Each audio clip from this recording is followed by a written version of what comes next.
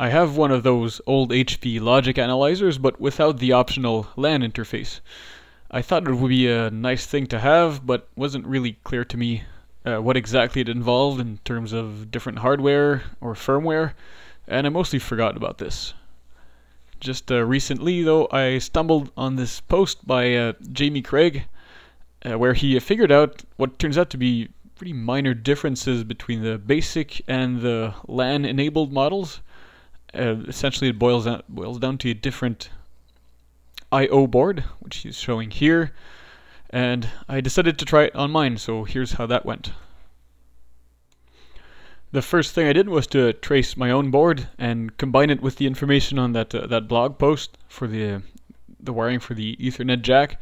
I left out the the BNC option because nobody uses that anymore, and I think it's pretty much complete. Except I think there's a few th yeah that shield connection to the Ethernet jack.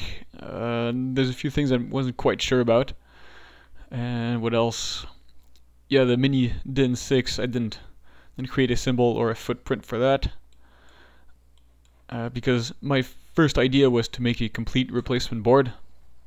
But you can't get these, so you'd have to remove these, probably remove the DB25 connector as well. So, uh, just left that idea aside.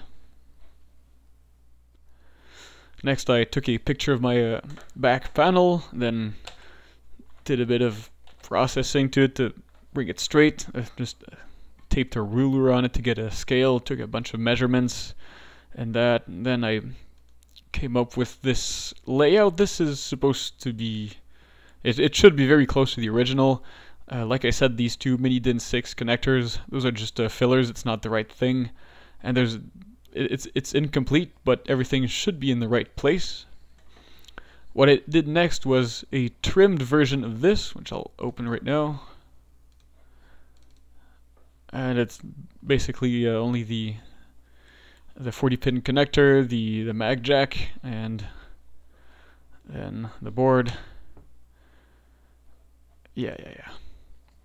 I removed everything except this narrow strip. The idea would be to mount it using the same holes and to get the alignment right, what I did was um, cut out a thin piece of uh, of PCB in the right shape, and I mounted it here. You can't see it; it's between the original I/O board and the rear panel, like this, right here underneath. And then, oops, wrong way. And just a visual check that it lined up mostly okay with the opening in the rear panel and then I pressed in the mag jack. It's not soldered in yet. It's only in the uh, it's lined up in the holes. Then I drilled through the original PCB and then enlarged the holes a bit because I don't want the pins shorting against these strips. These are copper strips. I'm not sure what their function is, but I just cut them away uh, like this around the especially around the data pins these don't matter too much because these are plastic and these uh, these are just the, the metal shield around the, the connector and then the important part was to either cut out or route out like I did the inner ground plane which you can sort of see right here because I really didn't want any of those pins shorting uh, uh against the ground plane and once installed, it looks like this. So the, bag, the, the mag jack pins go just through the original board, and my add-on is on the other side, uh, like this. Just uh, I put on twisted pairs, but I'm fairly certain wasn't necessary. All right, let's see if this thing works still. Course. Uh, the sound of the 90s.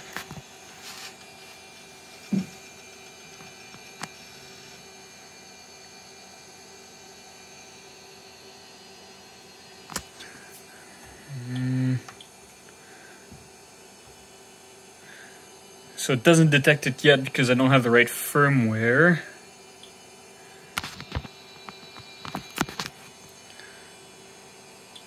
I think I'm going to need the floppy disk for this or transfer the files to the hard disk.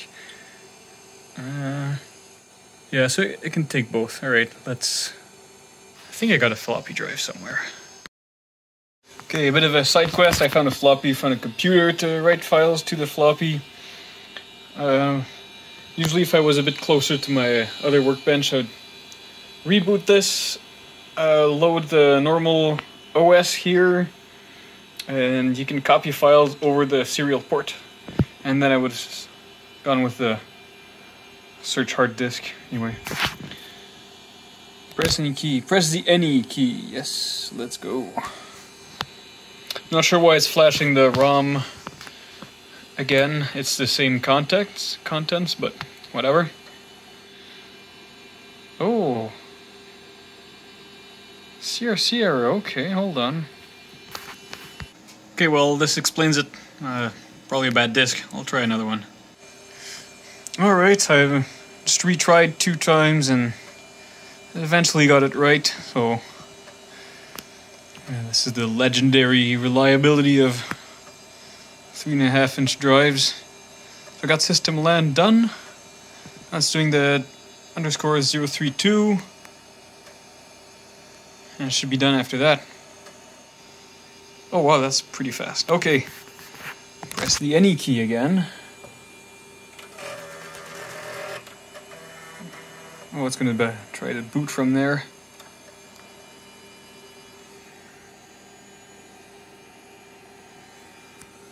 Okay, let's see. Uh, all right.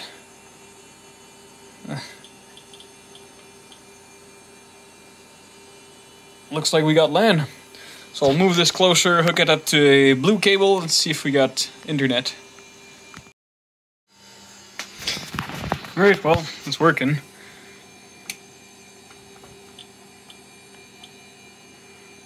There we go, I'm transferring some files. Oops. There we go. Okay, some uh, disassembly notes. Forgot to film this, but now I know better. Uh, first off, this uh, stupid bezel is stupid. Um, it, almost every hole on mine is pre-cracked, and you can't. Well, I didn't figure out how to remove the whole thing. It goes all around from the bottom, all the way around the top to the bottom again, and there are these little fingers here that force you to stretch open the whole bezel.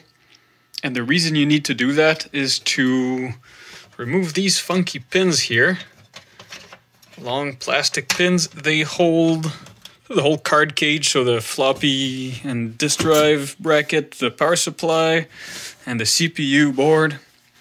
And the only reason you want to move that is to change your uh, RAM here, which is a standard 72 pin old school thing.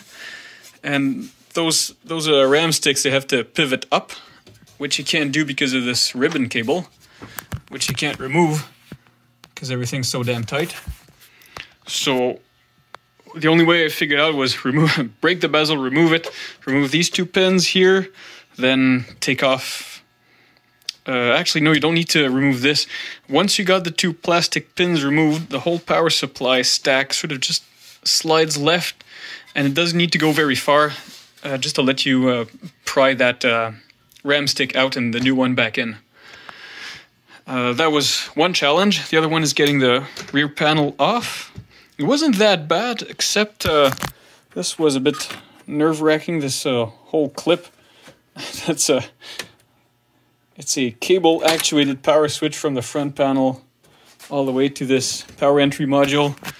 And uh, I'll try and get a video once I clip it back on. It's a bit tricky. I almost broke it, but just uh, just safe. Uh, this power supply will need to come off.